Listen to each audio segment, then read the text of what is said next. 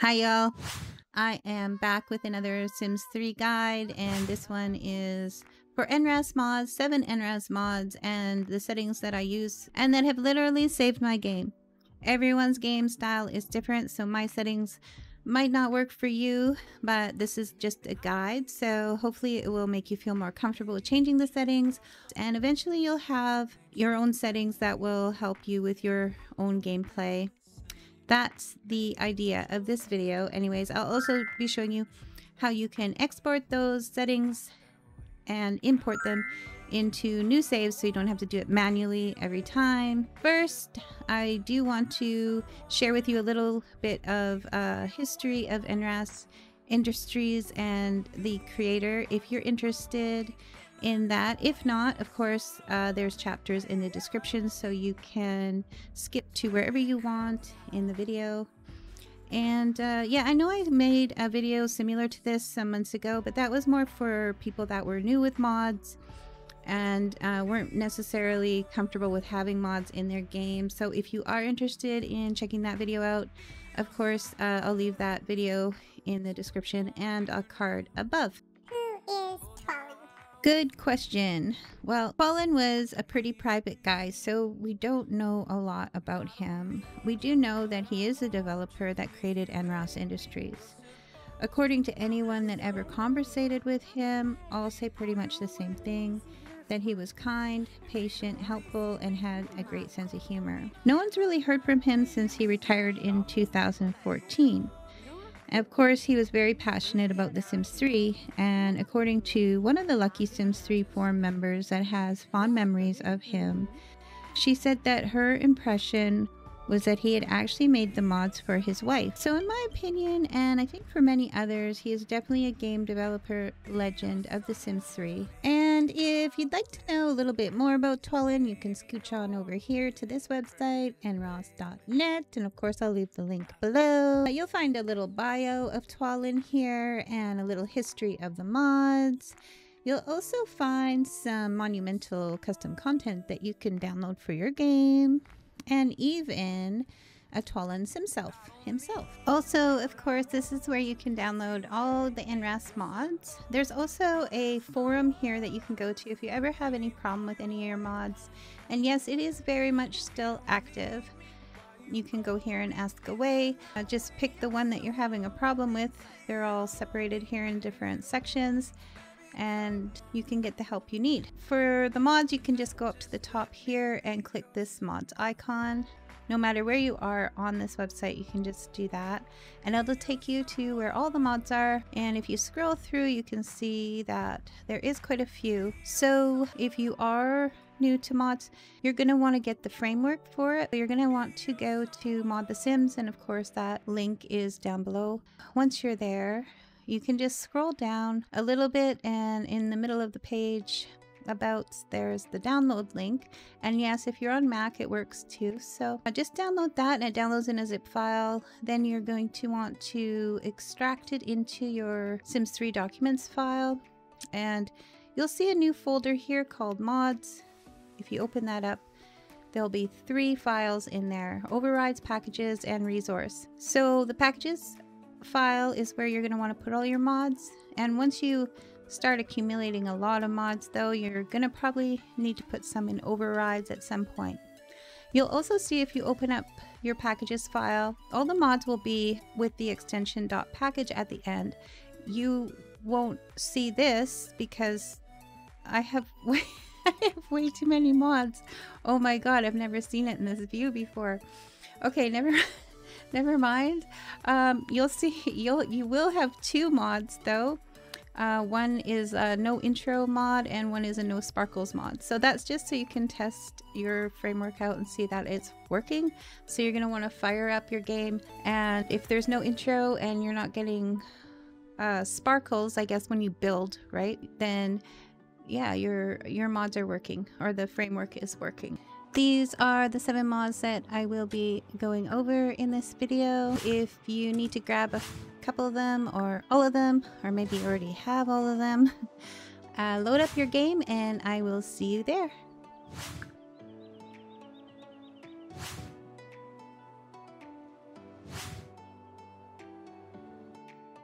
Relativity slows down Sim's time so your Sim has more time to get things done during a Sim day. Okay, so to find your NRaas mods, you want to click on a computer or you can click on City Hall in Town View. Look for NRaas. Oh, I think I went past it. Look for the NRaas tab and then Relativity. And in here is where we want to change our speed for our sim days. So I'm not going to go in depth with this mod because uh, it's just too much. So I'm keeping it simple. We're just changing our Sims day time and slowing it down.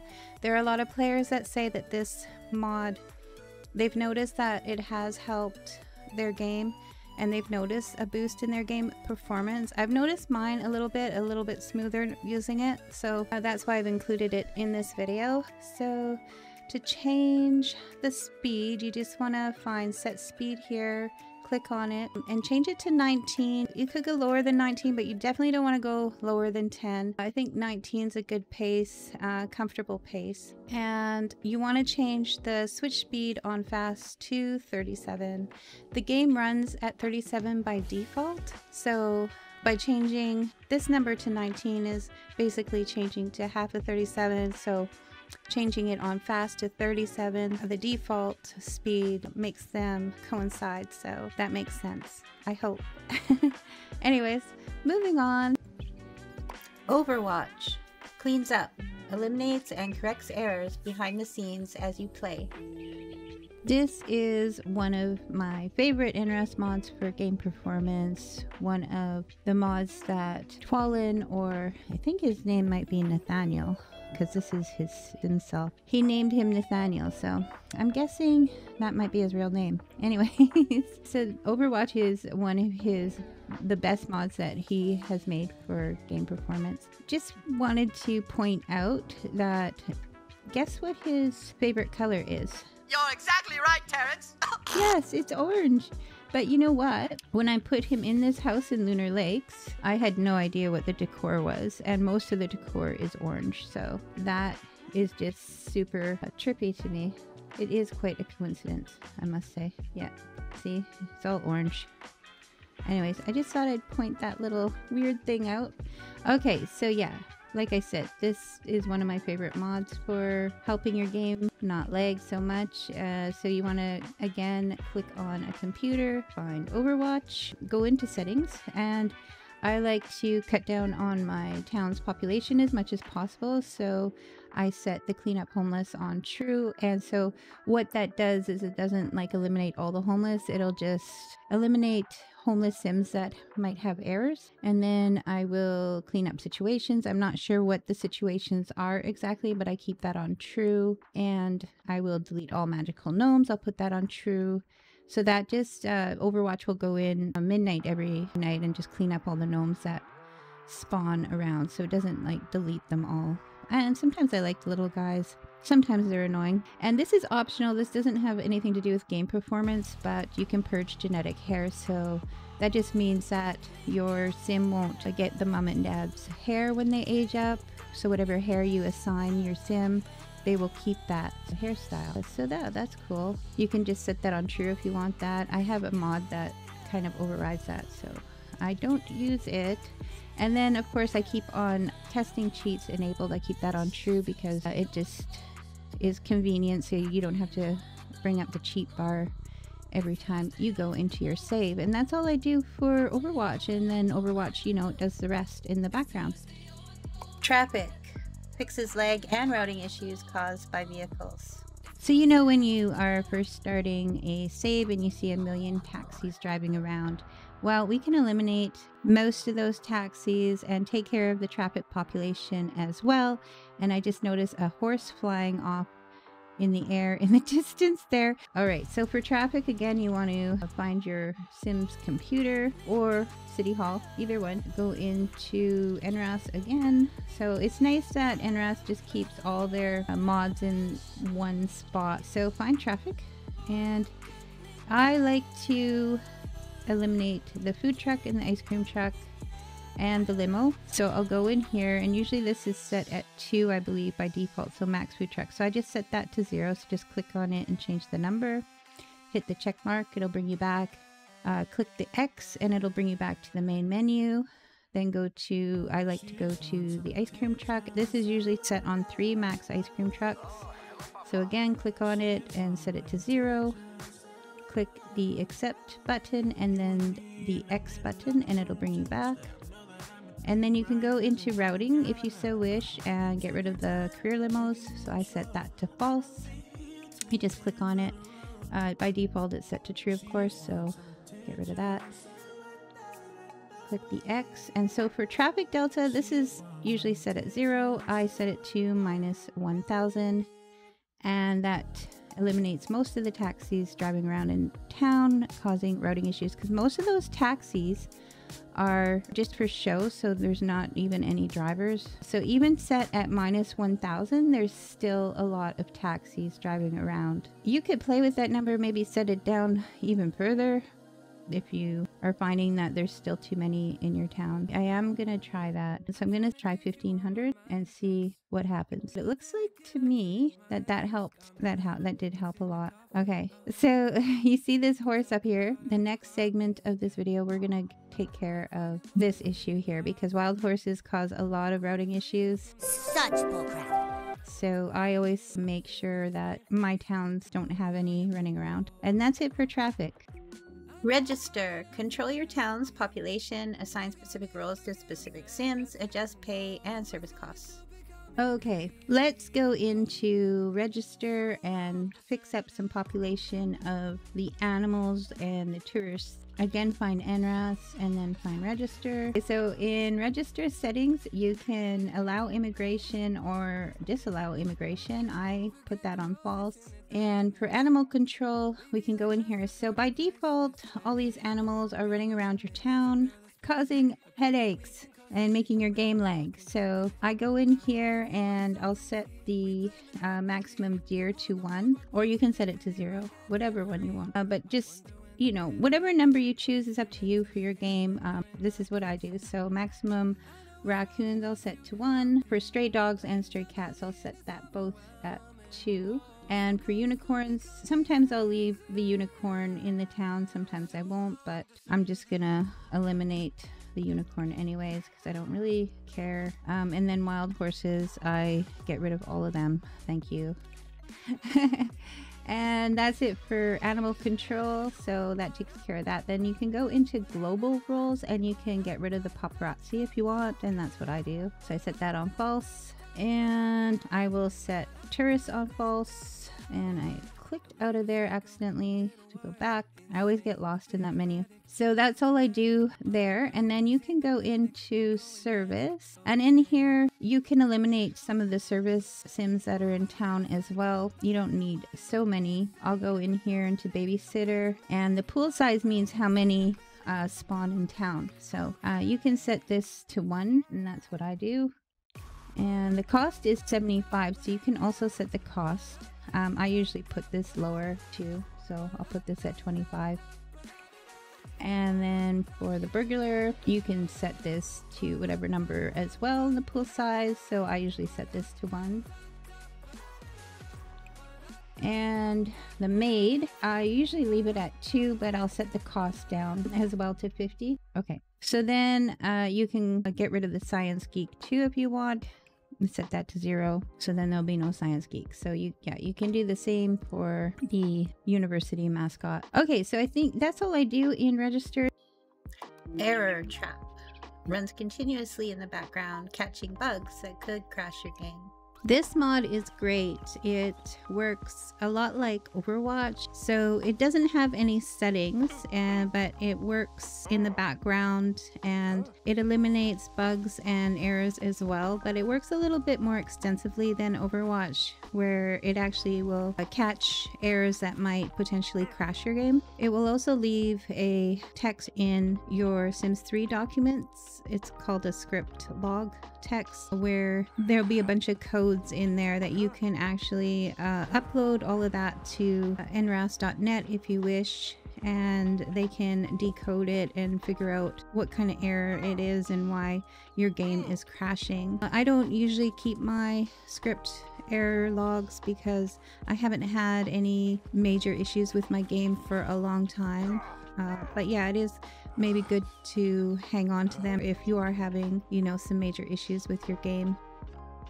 Saver reminds you to save your game periodically. So this mod is a fabulous mod because a lot of times we get into playing our game and we don't remember to save it and we might lose a bunch of work we just did. Go in here to NRaas and then Saver if I can find it. And what this does is it'll uh, give you a pop-up screen that will remind you to save your game every 30 minutes. So yeah, here is defaulted on 30 minutes, minutes between saves in real time, of course. So you can leave that on every half an hour or change it to every hour or whatever you want. It will have the name of your save, but it'll add a number at the end so what that does is save your game separately in your save file. So every time this pops up, it'll give a number. So this is the first time in this save, so it gives number one. The next time it pops up, it'll give number two. I don't like having that many saves in my save file, so I will always just take the number away and keep it like that. So I'll delete the number and override the save. I don't need a bunch of saves, but in some cases, some people like that. That's fine. So it'll say save file already exists. You are sure you want to override it. And so, yeah, I do that. Master Controller lets you control almost every aspect of the game. So this mod works independently of all the other mods where it's not an actual performance mod. Oh, there's a little gnome there. I'm kind of excited about that too, actually. Okay, so I use this mod to reset my town or my lot if things are getting really laggy. So Master Controller, like the title says, you can pretty much do anything in this mod for your game. So if you wanted to like annihilate a whole household or annihilate a sim, you can instantly do that with this mod. It is a very powerful mod, so you, you do have to be careful with it. I wouldn't mess around in it too much unless you really know what you're doing. Anyway, so to get to Master Controller, again, of course, you have to go to your NRaas menu. Look for Master Controller. And to reset your town, you just want to find Town, Reset Everything. And that will re literally reset everything in your town, every object, uh, every sim, everything. And a lot of times that will help smooth out your game. Uh, the other thing you can do if you want, you can reset your lot. So you just want to go into household and then go into reset lot. So if you go in here and you can't find your household, what I do to reset my lot is uh, I'll just go into map view and click on my household icon here and go into NRaas and then master controller. And you can reset your lot from there. So that was kind of a lot easier than doing it the other way. When you reset your lot, all your sims will end up at the front door after it's reset. So I'm going to reset it. Well, that reset very quickly. Anyways, like I said, your sims will all end up at the front door after you reset your lot. That's it for Master Controller for this video. And the next segment, I am going to show you how to export all your settings and import them into a new save so you don't have to do all of this again manually. Well, this is gonna be amazing! Okay, so if you want to save all those settings for uh, new saves so you don't have to manually do this every single time, you can export them and import them into your new save and I'm going to show you how to do that right now. I didn't realize his kitchen was way up on the top floor, but good timing because he pulled out his laptop. So just click on the computer again. You want to go into your Overwatch mod, so NRaas. This time you want to go into immediate just click on there and find export settings. Click on that and click accept. Here's all the mods here. You can remember which ones you uh, made the changes in and highlight those. If you don't remember which ones uh, you can highlight all of them and it will just export the ones that you saved anyways by default so but anyways we'll just go in and highlight the ones we made the changes in so it was overwatch register uh, we're not going to worry about Saver because that's by default anyways traffic and uh, relativity. So just click accept and in and here you just want to uh, name it whatever you want. I just put my settings or my game settings.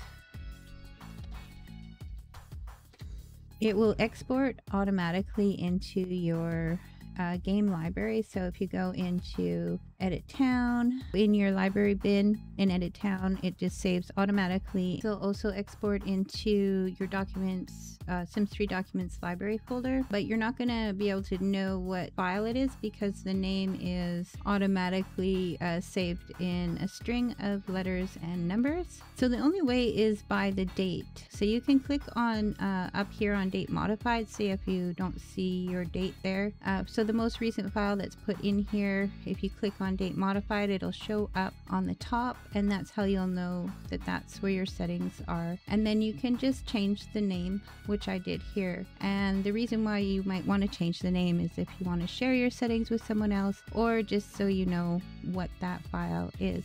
Okay, so in order to import those settings into a new save, you want to click on your Sims computer again and go back to Overwatch once again. So NRaas and then Overwatch. And you want to go back into immediate and you want to go into import settings.